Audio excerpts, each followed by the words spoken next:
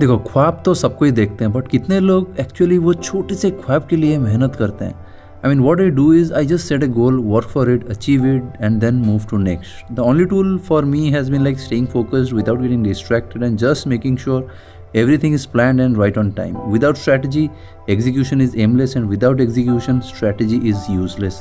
मेरे को अभी भी याद है 2007 में मैं लोगों का कंप्यूटर्स हो गया मोबाइल्स हो गया रिपेयर करता था बस थोड़ा कुछ पैसा कमाने के लिए सो दैट मैं मेरा जो हॉस्टल का बिल हो गया फ़ूड बिल्स को मैं पे कर सकूँ so basically like from repairing mobile phones and computers for people in Chennai in 2007 to taking the delivery of my G Wagon today in 2021 the journey has been extremely painful and stressful with like thousands of hours in front of the computer but today I feel like it was all worth it so just make sure you are never giving up so my first car was a Tata Indica that was in 2008 मैंने पहला जो car लिया था वो Tata indica था 2008 में then मैंने second car लिया था 2010 में मारुति स्विफ्ट देन मैंने थर्ड कार लिया था 2012 में था सेवरोले क्रूज देन मैंने ऑडी ए लिया था 2014 देन मैंने लिया था B M 2019 then i'm taking this mercedes g-wagon 2021 so a lot of work has gone into this thing and years of planning 13 years of hustle and months of wait to get this car delivered. Man it has been a long wait. So i see a lot of people who invest on cash flow but i invest on cars because this is what i like doing. What's the use of life and money man? If you cannot do what you want life is short. Leave it before you repent later. Now let's go ahead and take the delivery of our black arrow for our soamjena fans and kalia sonda for our odiatoka fans